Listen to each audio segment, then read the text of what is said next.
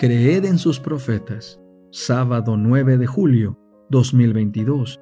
Deuteronomio 24. Una ley sobre el divorcio. Si un hombre toma una mujer y se casa con ella, y sucede que ella no le agrada por haber él hallado en ella alguna cosa vergonzosa, le escribirá una carta de divorcio, la entregará en su mano y la despedirá de su casa.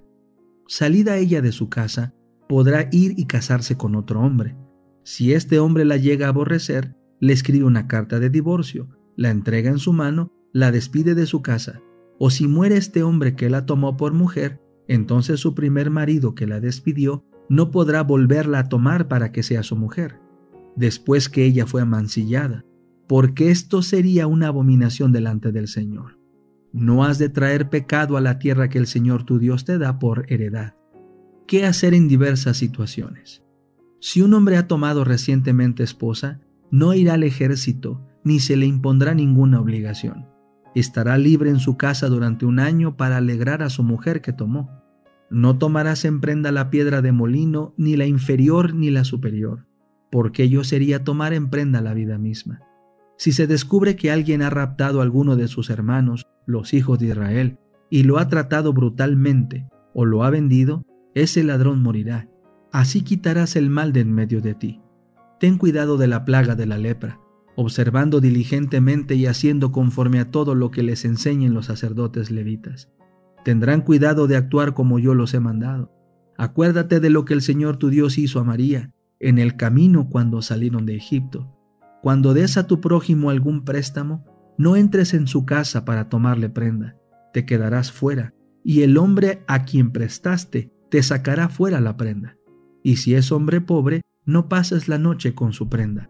Sin falta le devolverás la prenda cuando el sol se ponga, para que se acueste con su ropa y te bendiga, y te será contado por justicia delante del Señor tu Dios.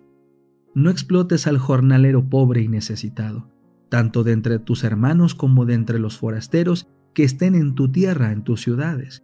En su día le darás su jornal. No se ponga el sol antes de que se lo des, pues él es pobre y su alma lo espera con ansiedad.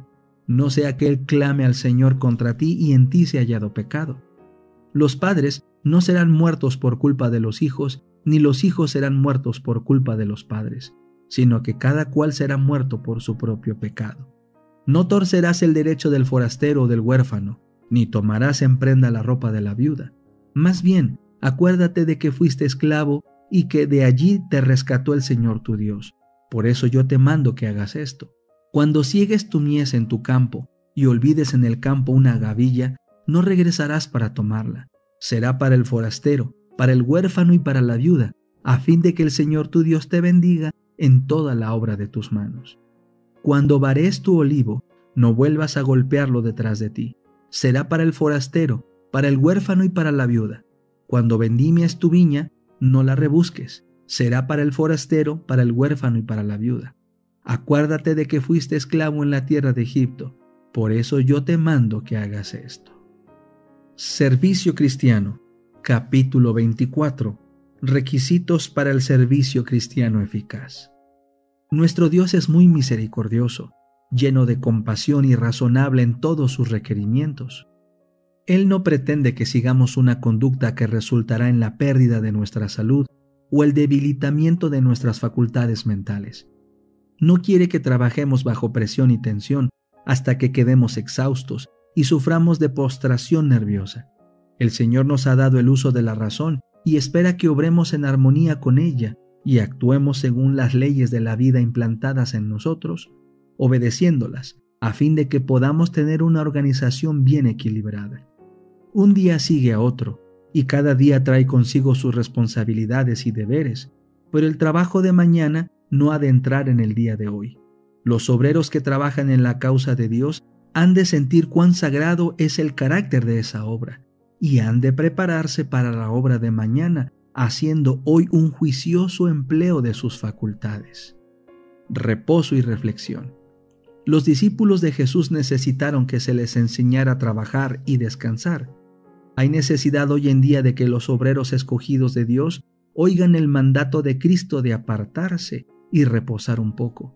Muchas vidas preciosas se han sacrificado innecesariamente por descuidar este mandato. Aunque la mies es mucha y los obreros pocos, nada se gana con sacrificar la salud y la vida. Hay muchos obreros débiles y gastados que se sienten profundamente desanimados cuando consideran lo que hay para hacer y cuán poco pueden realizar ellos, cuánto anhelan tener más fuerzas físicas para poder efectuar más. Pero es a estos a quienes Jesús dice, venid vosotros aparte al lugar desierto y reposad un poco.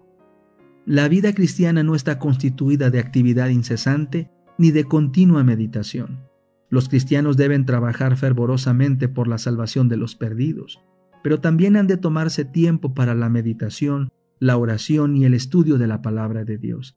De nada sirve estar siempre bajo la tensión del trabajo y la excitación, porque de esta manera se descuida la piedad personal, y las facultades de la mente y el cuerpo sufren menoscabo.